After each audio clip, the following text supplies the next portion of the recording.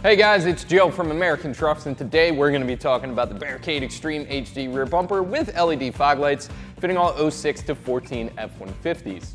Now this is going to be a great option for you if you're looking for a heavy duty off-road rear bumper that comes with some rear facing lights at a budget friendly price. So diving into the Extreme HD, what is this thing made out of? Well, steel plate, but three millimeter thick steel plate at that. It's finished in a two-stage black powder coating, which is not just there to add to the looks, albeit if you were going for the blackout look, this is gonna be a perfect match, but it's also going to serve as a layer of protection against the elements. Now, the main draw to this kit in particular is gonna be the two included 5 watt Cree LED light cubes. They're gonna throw a lot of light out of the rear of your truck at a 6000 K color temperature. That's gonna be a bright white leaning very, very slightly toward the blue side. They're completely plug and play. This kit even includes a wiring harness with a switch. They're IP67 waterproof, meaning they can withstand up to a meter of water for 30 minutes, and that's more abuse than they should ever see on the rear of your F-150. This bumper has some other features going for it as well. A lot of them actually transfer over from the factory rear bumper and we're gonna get the two side by side in just a second here so you can really see the difference between the two. But you might recognize those license plate lights, you might recognize the spare tire lock as well as the trailer plug down there and the receiver itself. All that stuff is gonna transfer over from your factory rear bumper and this bumper even includes spots for reverse proximity sensors. If your truck is option, you can transfer those right over if not, you can fill it with these rubber plugs, which do come in the kit. Now, one thing that is not on the factory rear bumper, these steps into the bed, you do have some non-slip texture on there to make sure you get some good footing. That is a nice little feature just to make things a little bit easier on you if you do plan on working in the bed of your truck. Now, pricing for this whole kit is gonna drop in right around the $700 mark and that is really budget friendly, especially when considering that this comes with its own LED cube lights. You can get this without if you are looking to save around 150 bucks, and that is the most budget friendly rear bumper we have for this generation F-150 on our website. And this one right here, this is gonna be the most budget friendly rear bumper that includes any lighting at all. So definitely getting your money's worth with the Extreme HD. Install for this is gonna be really, really easy.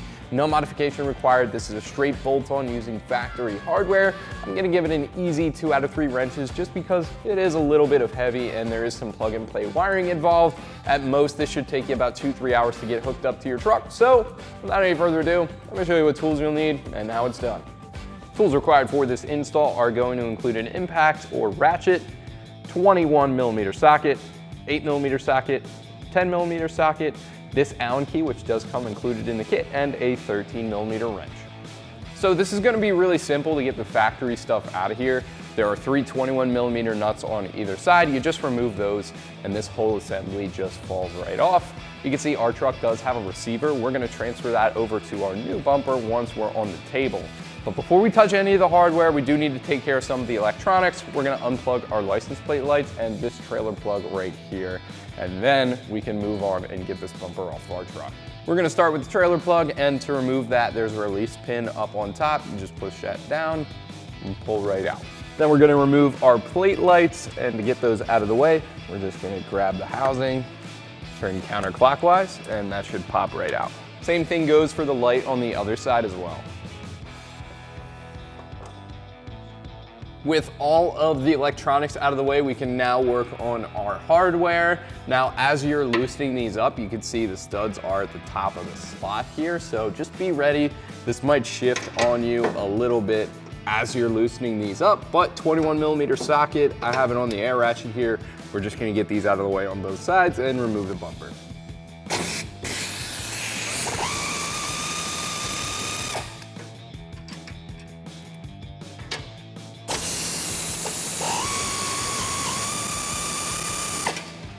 I'm just gonna leave that on finger tight and while I'm here, I'll also put that one on as well.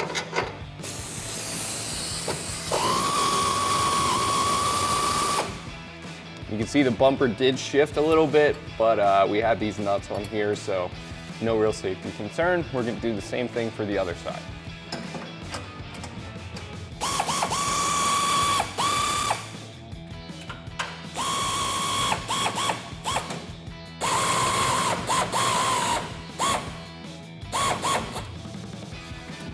Now I'm just gonna reach under, unthread those nuts the rest of the way, and then we can pull the bumper off.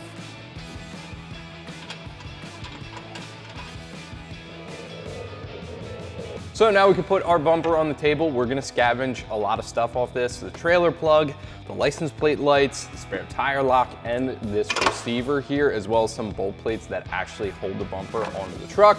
We're gonna start with the license plate lights. They just pop out.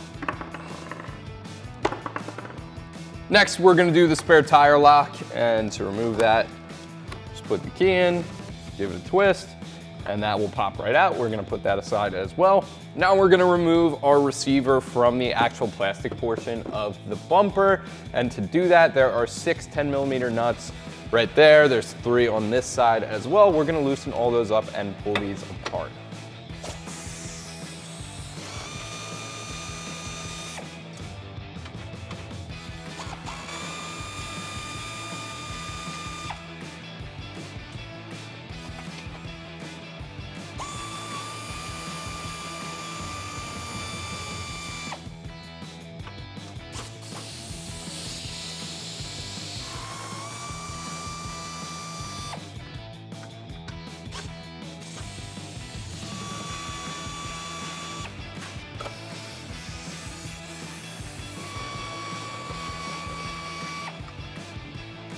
Now we can pull this hitch bar right out of our bumper. We're gonna put our receiver aside for now. We're just gonna build up our new barricade bumper next. We're gonna start with the spare lock and that is just gonna go right back in place on our new bumper, like so. Then we can move on to our plate lights, which are also just gonna pop right in. Now, what we're gonna handle next is right here. Now, these are plugs for the reverse proximity sensors. Our truck is an option, so we're just gonna throw those in the holes. If you do have those, the process is pretty much gonna be the same exact thing. Take them out of your factory bumper, put them in the holes on this one, and you'll be all set. Those will be up and running, no problem. Now, like I said, we don't have that, so we're just gonna pop in these plugs to the four holes.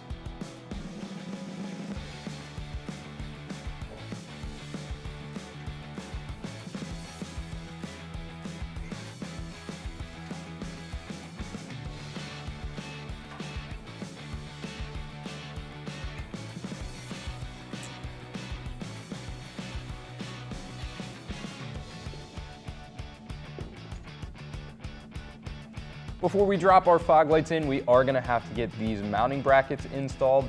Now that is pretty easy. If I hold it up like this, you can see one side has a notch cut out of it.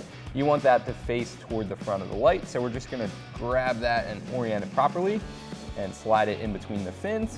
Now what I'm gonna do is I'm gonna bring that straight back and the idea there is it's gonna provide a little bit of a slide.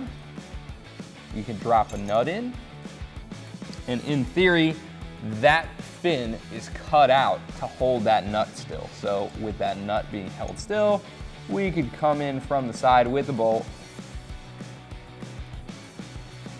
and thread the two together.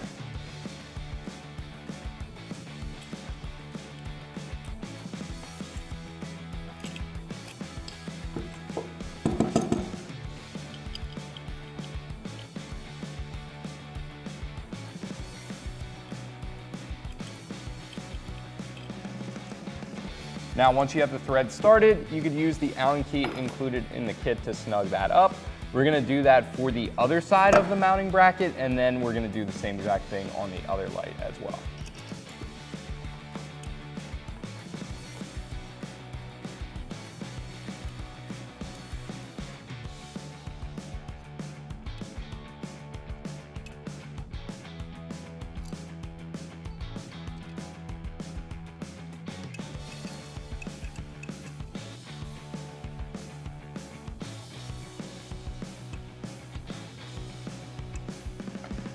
So with the hardware in place, we can put our mounting bracket where it needs to be, and that can go off to the side. For now, we're gonna do the same thing for this light as well. And again, you just wanna make sure that notch is toward the front of the light. That's gonna give you the range of motion you need.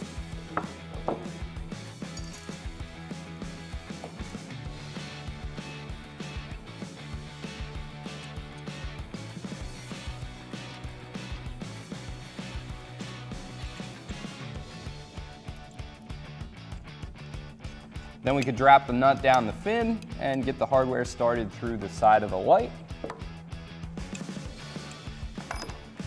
And same thing goes for the other side too.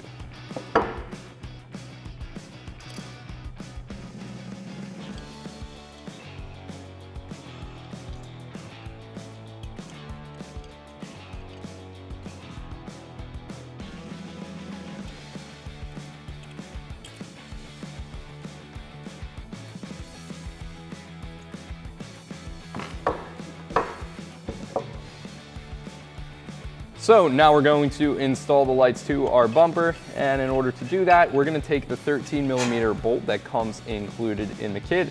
We're just gonna put that up through the bracket we just installed like that. And that bracket has some slots cut out of that to hold the bolt head still while we thread on the nut. So I'm just gonna reposition here. And then I'm gonna come in through the front of our bumper like so. And then on the top of that bolt, just going to install our lock washer. And then we can tighten that down with a 13 millimeter nut. Now, one thing I probably should have done before we drop this in is push through the cable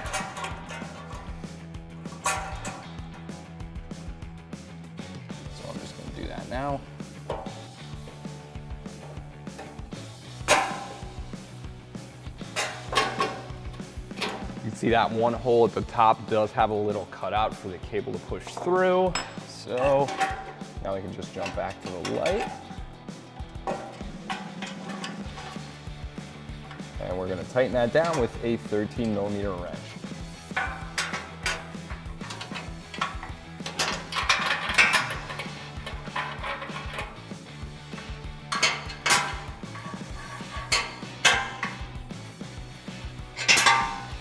And then we're gonna do the same thing for the other side. We're gonna do the same thing for the other side, but uh, we're gonna push through the plug first this time. And while we're over here, I guess this is good a time as any to touch on, you have three positions to mount this in. Uh, we're gonna go with the middle, that seems to make the most sense. Um, having it centered up is just gonna look the most right as well.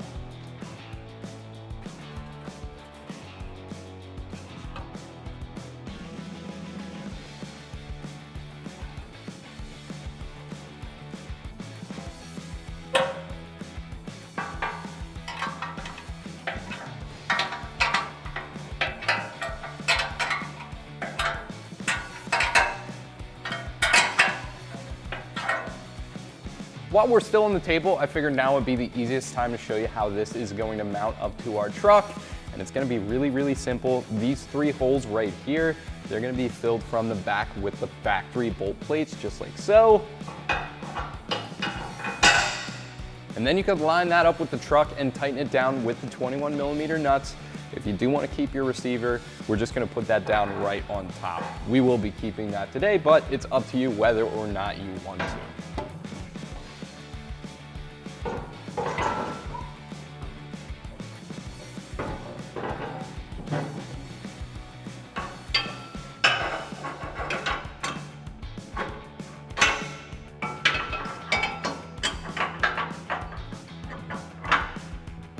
So now we're just about ready to install our bumper to our F-150, but before we do, I figured now would be the perfect time to stop down and point out some key differences between our brand new Barricade and that factory rear bumper. Now, the first thing we're gonna touch on here is gonna be the most obvious, and that is gonna be the upgrade in terms of looks.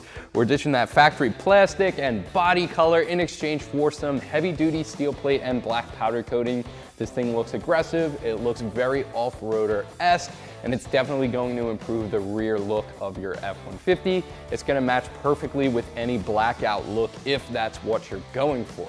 Now that's not gonna be the only key upgrade between our old factory rear bumper and our brand new Barricade. Obviously, the looks are great, but the build quality is gonna be improving as well. Again, plastic over here, heavy duty steel plate over here with that black powder coating, which is gonna serve as some corrosion resistance.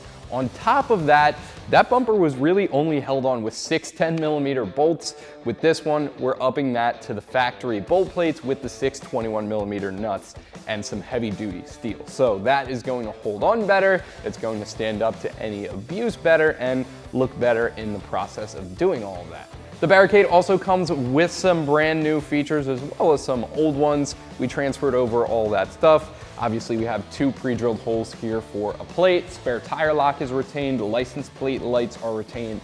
Parking sensors are also going to transfer right over.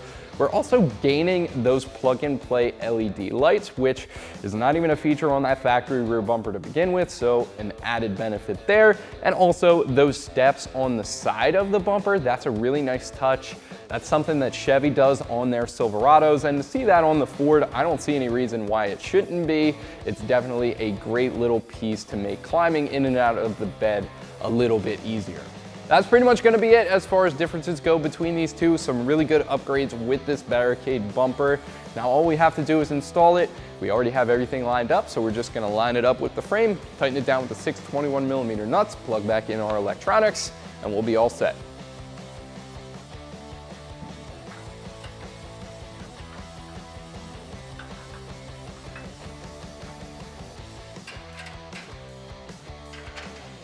So now we're just gonna push up and align this bumper and take the 21 millimeter socket.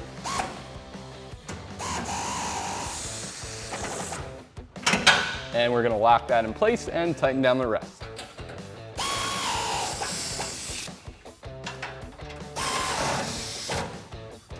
And then we're gonna do the same thing for the other side.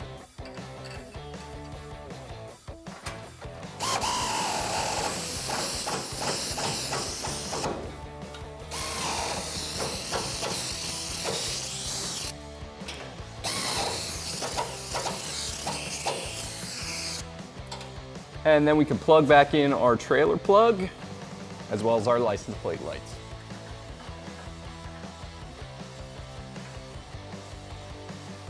And we're just gonna line that up and give it a clockwise twist to lock it in for both sides.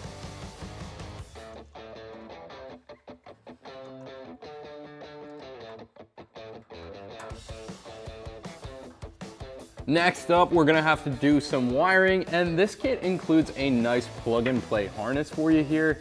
This has two IP67 waterproof connectors. They're gonna go to our lights. Then we also have to mount up a relay. We have to get a switch into the cab of our truck, but what we're gonna start with is applying the contacts to the terminals on our battery. Obviously, black to black, red to red. We're gonna pop off a 10 millimeter nut on each terminal, install our contacts, and reinstall.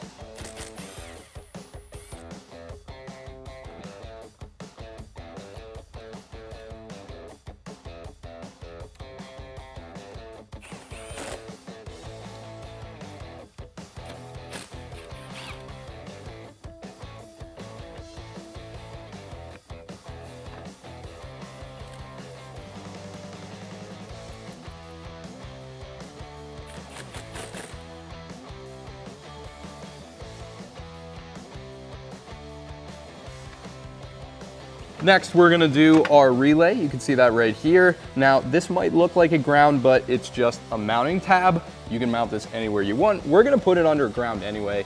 Uh, we're gonna go for this guy right here, eight millimeter bolt holding that on. So we're just gonna loosen it up, install, and tighten it back down.